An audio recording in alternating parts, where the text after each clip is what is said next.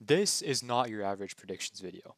Unlike fellow creators, I've analyzed every single official digital SAT, and after noting every trend and pattern in the most repeated question types, I've narrowed it down to four questions you will see on your next SAT.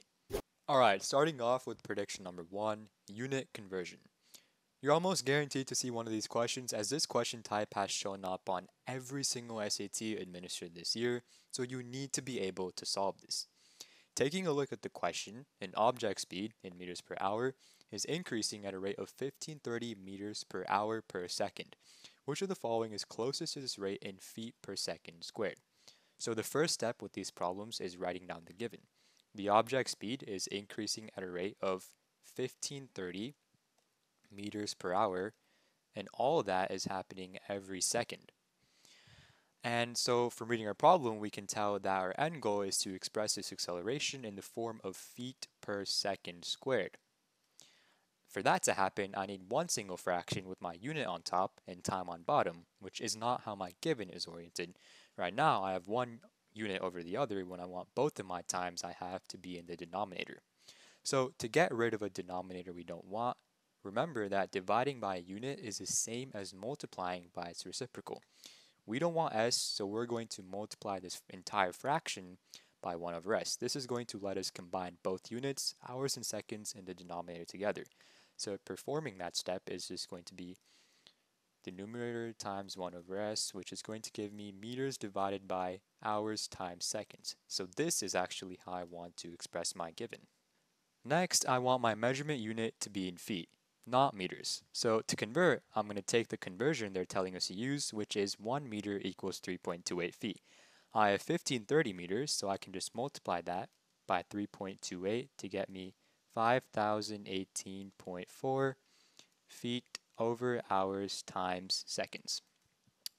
Now, all we want is for the bottom to become seconds squared. So I'm going to have to convert hours to seconds.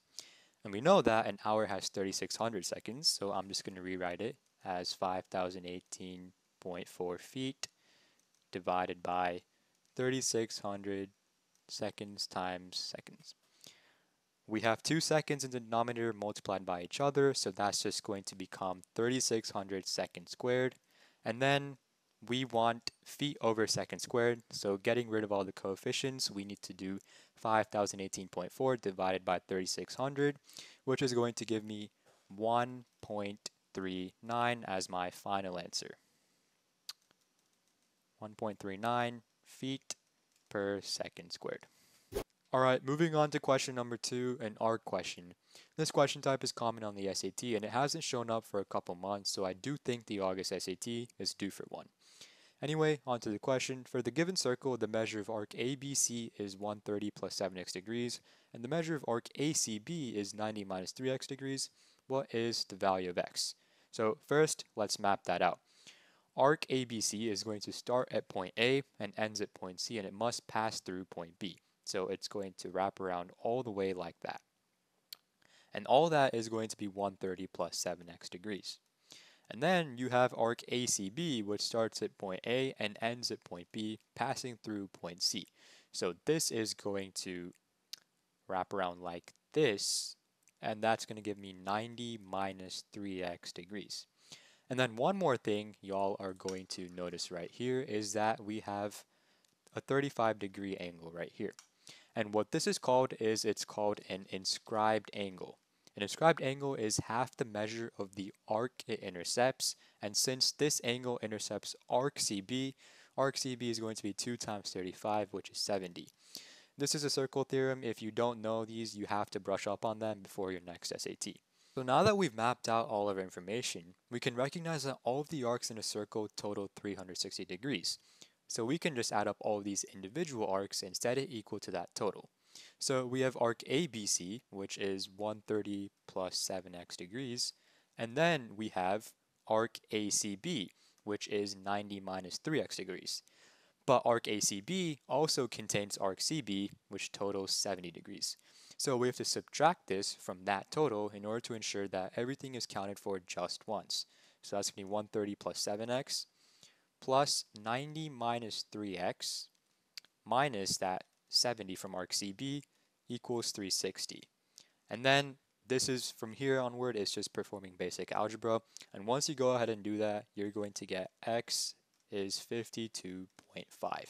All right, moving on to question number three. An equilateral triangle is inscribed in a circle with a diameter of 16. Which of the following gives the area of the equilateral triangle? So in order to answer this question, the first thing we're going to want to do is actually draw it out.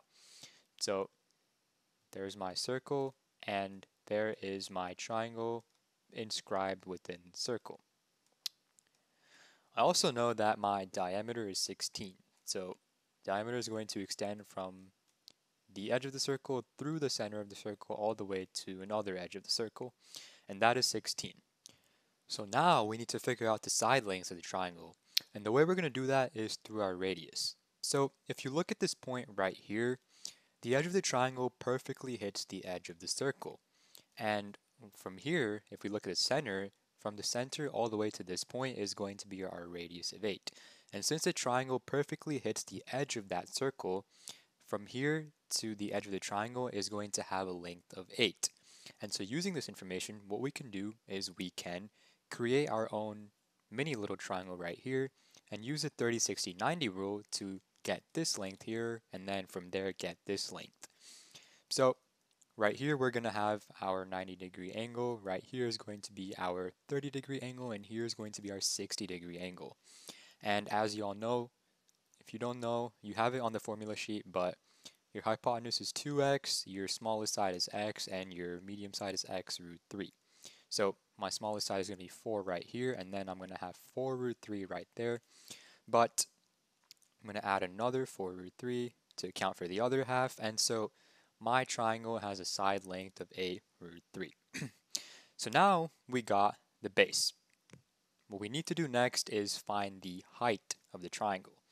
So to find the height, what I'm going to do is I'm going to create another triangle and then use the 30, 60, 90 rule to find the height again. So right here is going to be my 90 degree angle, this is my 60 degree angle, and this is my 30 degree angle. So for root 3, my height is, my hypotenuse is going to be 8 root 3, and then my height is going to be 4 root 3 root 3, which is just going to be 4 times 3 as the root 3's cancel out. So I know my height is 12 right now. And that's all I need to get my area, which is going to be 1 half times base, which is 8 root 3, times 12, which is my height. When you multiply all of these, you're going to find that your answer is going to be D, 48 root 3. Alright, moving on to question number 4, a trigonometry question. This is a heavily repeated topic and question, so be sure you know the ins and outs of this before your test. In the figure, AD and BC intersect at point D. The measure of angle ABD is W degrees, the measure of angle CAD is C degrees, and AD equals 178. If cosine of W equals 9 over 41, what is the value of tan of Z?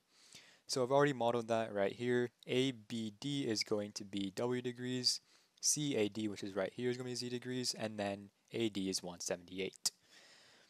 So to start off with this question, a lot of people would try to find the side lengths using the cosine equation that you're given right here. They would try to find the side lengths of ABD, but you actually don't need to do all of that.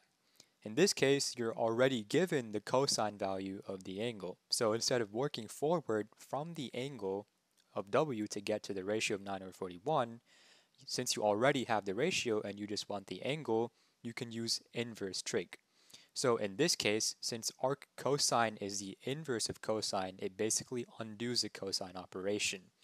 So if I have cosine of, cosine of w equals 9 over 41, I can actually say that w is going to be the inverse cosine of 9 over 41. And the reason this works is because since cosine and arc cosine are inherently different operations and they're inverse, their outputs and inputs can be switched. So now that I have w equal to this, I can just put this into Desmos and then get a value for w. So that's just going to be cosine to the power of negative 1 and then 9 over 41 in parentheses. But this answer is actually going to be wrong because you are in radian mode and or I am in radian mode and not degrees. And this is a mistake a lot of students make. They don't know what mode they're in and they end up getting the wrong answer.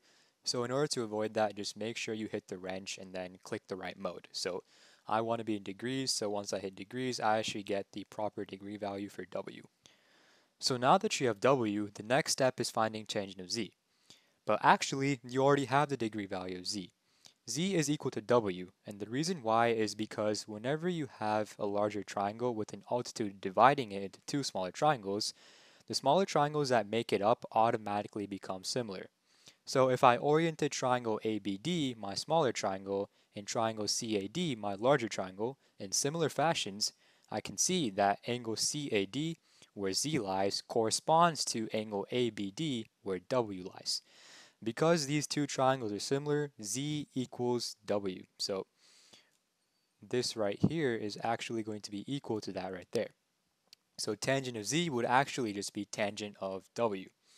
So what I can do is, since I already have W, which is this, I can just type in tangent of W again to get 4.44 or 40 over 9 as my final answer.